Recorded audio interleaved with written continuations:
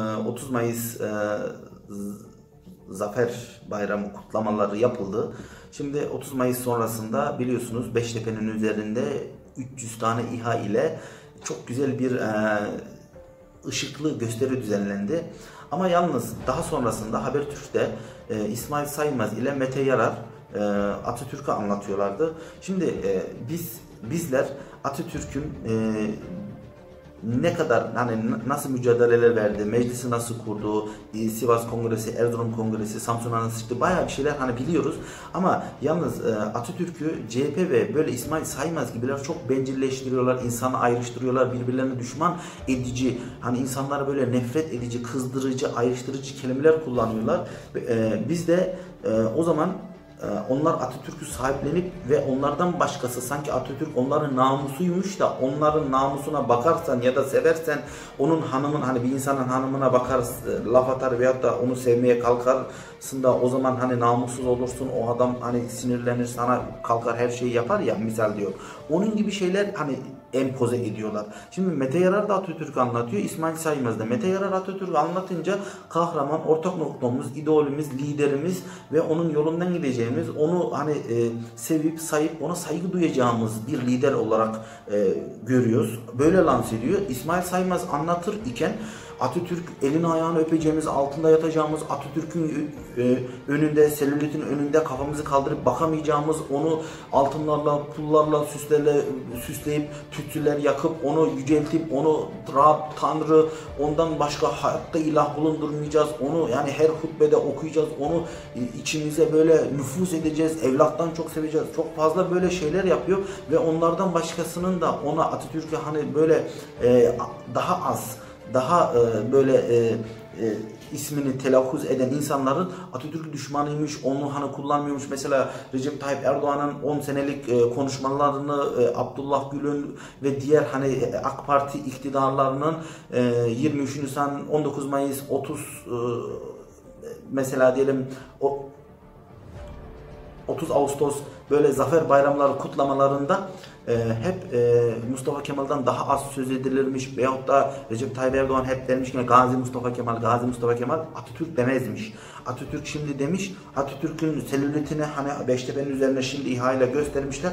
Bunlar hani ilk defa oluyormuş, böyle oluyormuş. Ya kardeşim siz e, çok fazla e, Atatürk'ün yatıp kalkıp onun hani kitabını satıp onun üzerine para kazanınca onu sömürmeye başlayınca onun adına hani kirli işleri yapıp da onu kılıf olarak kullanınca biz yani sadece size bak, bakmakla yetindik yani yani bir şey yapamadık. Baktık yine almışsınız Atatürk'ü sırtınıza koşturunuza koşturunuz. Biz de hani dedik yine oturak bir seyredek ne yapıyor ne ediyor. Yani bu bizim Atatürk sizin Atatürk mü? Sizin Atatürk'ünüz bizim Atatürk'ümüz mü diye biz çok geçirmeye başladık. Bırakın biz de sevelim. Biz de ilgi duyalım. Biz de adama hani saygı duyalım. Niçin siz bu kadar bunu kullanıyorsunuz, üstleniyorsunuz, bunu hani kirli emellerinize alet ediyorsunuz?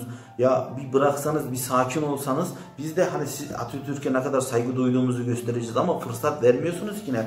Hep 30 e, Mayıs mesela diyelim 30 Ağustos kutlamalarından önce yok pandemiyi bahane etti, yok kutlama yapmayacak, yok 30 e, e, Ağustos'u Malazgirt zaferleriyle, savaşlarıyla veyahut da diyelim Erzurum'da yok çadır kurdu da, yok Alparslan'ı öne çıkardı da, yok bizim 23 Nisan'ın son haftalarına Kutul Amare'yi getirdi de öyle bir dizi çıkardı da hatta pay payitaht Abdülhamit'i öne sürdü de ondan neredeyse seçim propagandası yapacaktı da İngiliz mesela konsolosunu tokatladı da Osmanlı'yı yüceltiyor da şöyle yapıyor da böyle yapıyor diyerekten yani e, bizi o kadar böyle ikileştirme, ayrışlaştırma, kendinizden uzaklaştırıyorsunuz ki Atatürk'ü bizden soğutmaya çalışıyorsunuz resmen. Seni dinlediğim zaman ben Atatürk'e düşman olacak gibi olmak, ol, olmak durumuna geliyorum. Başka bir şey çıkmıyor. Çünkü kardeşim bırak bu bizim ortak değerimiz. Şimdi Atatürk'ün mesela 23 Nisan'ında kutlayalım, 30 Ağustos'unda, 19 Mayıs'ında, 10 Kasım'da kutlayalım ama bırak da Kutul Amare'yi de kutlayalım, Malazgirt'i de kutlayalım, e, Fatih Sultan Mehmet'i de kutlayalım. Şimdi 30 Ağustos'ta sen diyorsun diyorsun, adam toplamıyorsun, pandemi var falan filan diyorsun da ondan sonra Ayasofya 350 bin kişi topladın diyorsun. Ya ne dedi? Herkese birer birer mektup mu yaptı? Adam Ayasofya'yı 86 yıl sonra ibadete açtı. Dedi ki? Namaz kılmak isteyen Cuma'ya gelsin. Adam ne yaptı? Hiçbir şey yapmadı ki ne? Herkesi zorla arabaya bindirip kendisi mi getirdi? Adam sadece dedi ki ne? Cuma'dır. Ayasofya açılıyor. Cuma namazını kılmak isteyen gelsin kılsın. Kardeşim şimdi böyle önemli bir olayda bir kere oluyor bak her her hafta Ayasofya açılmıyor. Senede senede bir kere 23 Nisan kutluyorsun. Senede bir kere 30 Ağustos 10 Kasım kutluyorsun ama her sene bir kere Ayasofya'ya gidip de kutlamıyorsun ki ne bir kere açmıyorsun ki ne. Açılacak olmuş insanlar gelmiş ne yapsın? Hep ikide bir de diyorsunuz ki Ayasofya'ya insan topladın 5 350 bin kişi topladın. Yok o kadar insan topladın. Niye pandemi yoktu? Niye şöyle yoktu? Niye böyle yoktu diye hep böyle Atatürk'ü İslami değerlerle karşılaştırıyorsunuz. Siz yapıyorsunuz bu. Bırak Ayasofya'ya istediği kadar gelen gelsin. İşte Anıtkabir'de sen kutlamanı yap. Beştepe'de yap. Kendin yap. Bir şekilde yap. Biz de yani zaten katılırız. Biz de zaten Atatürk'e saygı duyarız. Ama sen illa konuşmasını özellikle takip ettin. Atatürk demedin. Gazi Mustafa Kemal dedin. Ya hep böyle böyle böyle insanların beynine böyle böyle böyle böyle böyle kazıyor kazıyor kazıyor kazıyor kazıyor. Ya insan şoka giriyor. Acaba ben de mi Gazi Mustafa Kemal dedim? Acaba öyle demem gerekmiyor mu? Acaba Gazi Mustafa Kemal hakaret demek mi acaba? Gazi Mustafa Kemal demek kötü bir şey mi acaba? Yani Gazi demek onu aşağılamak demek mi? Veyahut da Mustafa Kemal ismiyle hitap etmek e, değerlerini hiçe saymak anlamına mı geliyor demek? Ya bırakın saçma şeyleri ya. 30 konuşmasını dinledim. Birinde Kemal dedi, birinde Gazi dedi, birinde Atatürk dedi. Ya çok fazla üstelemeyin de. Öyle bırakın olaylar akışına da. Bırakın biz de yani siz gibi sevelim sırtınızı alıp alıp kaçırmayın şu Atatürk'ü ya. Yemin ediyorum biz size diyoruz mu her cumaya gelin beş vakit namazı kılın. Hocadan önce camide bulunun abdestinize dikkat edin gusülünüze dikkat edin dinine ibadetine dikkat et. Kur'an-ı Kerim öğren ezberle ayet-el kürsüyle şunları diyoruz mu kardeşim? Seviyorsan istiyorsan gider yaparsın sevmiyorsan yapmazsın Niye ikide bir de dayattırıyorsun milleti? Belki gerçekten de yani bırak şu olay akışına bırak. Ben şimdi kapında oturup her cumaya geldin diye onu mu sayayım? 30 cuma takip ettim bir cumaya geldin. Sadece seçim zamanı. Bunu mu diyeyim sana? Bunu mu diyeyim? Buna mı gerek var? İşte bu ayrımlaştırma değil mi? Bu insanı ikileştirme, bu insanı e, dinden soğutma, düşman etme. Veyahut da sen oraya geliyorsan Cuma'ya bir kere geliyorsan gösteriş için geliyorsun demektir. O zaman ben Atatürk'ü 30 kere de bir kere Atatürk demedim. Gazi Mustafa Kemal dediysem hep ikide bir de oraya innelersen, ikide bir de orayı innelersen o zaman ne anlama geliyor? Kardeşim yani bizi soğutmak mı istiyorsun anlamına? Ya yani mecburi mi o zaman Atatürk demem lazım? Birisi bana Atatürk benden dememi beklediği için diyeyim. Ha kamuoyu oluşuyor. Baskı oluşuyor ben öyle söyleyeyim. Yoksa beni şu an takip edenler var. Kesin Halk TV'de, Fox'ta, şurada, burada İsmail Saymaz gibi bilmem ne kaç tane yazar, çizer, şunu bunu, Adil ım, Yılmaz Özdilli, yok bilmem Uğur Dündar, şunu bunu, Fatih Portakal çıkacak diyecek yine, e, e, Atatürk demedi bak diyecek. Ben neyse Atatürk de koyayım konuşma metnine. Ya saçma bir şey ya. Gönüllü olarak adam bırak desin. Birinde demez, ikide demez, üçte demez, dörtte der, beşte der. Niye demesin yani? Ne? Demezse de eğer gerçekten demez, demezse de demez. Sevmek zorunda mı herkes? Herkes Cuma'ya gitmek zorunda Her hafta gitmek zorunda mı? Bırak sen onu üstelediğin zaman, ille üstelediğin zaman o kişi ondan uzaklaşıyor. Avrupa'da, bakın Avrupa'da insanlar çocuklarına ille sigara içme, ille alkol içme, ille şunu etme, ille bunu etme dedikçe, e, demedikçe çocuk bir içiyor, iki içiyor belki, bazen içmiyor bile.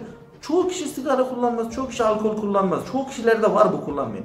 Türkiye'de mesela çocuğuna ille sigara içme deyince, ille oğlum ondan uzak dur, ille cız, ille o seni yakar, ille uuu dayatınca çocuk ille gidiyor onu yapmak istiyor. İlle yani zor koşuyorsun ya.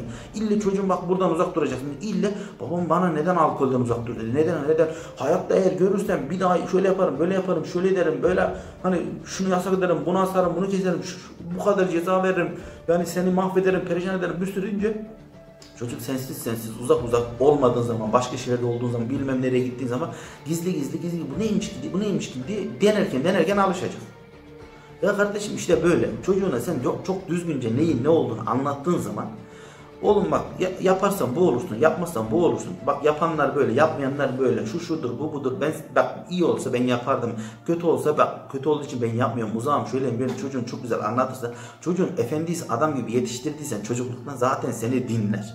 Sen bırak da ya 30 kere konuşmanı dinledim. Hep Mustafa Kemal, Gazi Mustafa, Gazi, Gazi Mustafa Kemal dedim, dedim, dedim, dedim. İşte bu buna benziyor. İlla çocuğa dayattırmaya benziyor. İlla ben sana dayattırmıyorum. 30 haftada bakıyorum, 30 haftada bir kere cumaya gitmemişsin. 30 haftada bir kere gitmemişsin. Kapına göp nöbetçi gittin 30 bir kere gitmemişsin. Bir kere e, namaz kılmamışsın. Bir kere e, Kur'an-ı Kerim okumamışsın. Bir kere ya okursan kendine kardeşim. Ben sadece söylüyorum dini kuralları, şartları, ahireti şunu bunu anlatırım sana. Yapman gerekeni gusül abdestini, abdestsiz ne olur, abdestsiz ne olur anlatırım. Uyarsan sen uyarsın. Adam illa Cumhurbaşkanı diyecek ki illa Atatürk diyecek, illa Atatürk. Ya bırak da sırtını alıp da bunu zorlama da millet desin. Anladın mı? İnsanlar ikileştirme, uzaklaştırma. Birinde demez, birinde der. Sen ikide birde bunu demiyor, bunu demiyor, bunu demiyor, bunu, bunu demiyor. İ- İlla insanlar oraya odaklayınca insanlar da bu sefer de diyor ki "Lan hep bu böyle diyor diye ondan sonra söylemiyor kardeşim işte. Belki de. Belki de söylemiyor. Belki de adamı soğutuyorsun işte. Soğuyor. Mete Yarar'ı dinleyince Atatürk'ün ortak bir lider, önderimiz olduğuna ve e, onun yolundan gideceğimize 100 sene önce bak 100 sene önce bugünkü olayların yaşandığına ve bugün de 100 sene önceki olaylar yaşanıyor. O günkü günlerden ders alalım. Atatürk'ün yaptığı, yapacağı veyahut da yapmak istediği bazı şeyleri şu an imkanımız varsa yapalım diyor. Biz ben adamdan gurur duyuyorum. Sen konuşuyorsun. Yok Cumhurbaşkanı e, Atatürk'ün değerleriyle özdeşmiyor. Yok e, artık e, eski tarihi yani tarihimizi eskiye doğru yavaş yavaş gidiyoruz. Yok Malazgirt dedi, yok Osmanlı dedi, yok Abdülhamit dedi, yok bilmem yani Kutulamare'yi çıkarttı, şunu çıkarttı, bunu çıkarttı diye. Ya bizi kendinden ve Atatürk'ten soğutuyorsun kardeşim. Bu böyle işte. Bu yüzden insanlara bırakın sıkmayın da kendimiz özgür irademizle sevelim. Anlat bize ne yaptı, ne etti, nasıl etti ama Yılmaz Özdil gibi anlatma. Domates, patates, portakal yerde şöyle yapardı, böyle yapardı. 2500 lira kitleme kitabı düzgünce anlat. Biz de onların yapmış olduğunu, güzellikleri hepsini benimseyelim, uygun görelim, bakalım yarıyorsa, hoşumuza gidiyorsa sevdiğimiz yönleri alalım, sevmediğimiz yönleri varsa da o zaman da diyelim o kendi hayatıydı, şuydu buydu diyelim ona göre bir kafamızda bir plan, proje, bir ideal oluşsun. Evet arkadaşlar beni dinlediğiniz için hepinize teşekkür ederim. Bir sonraki analiz videomuzda görüşmek dileğiyle. Hoşçakalın.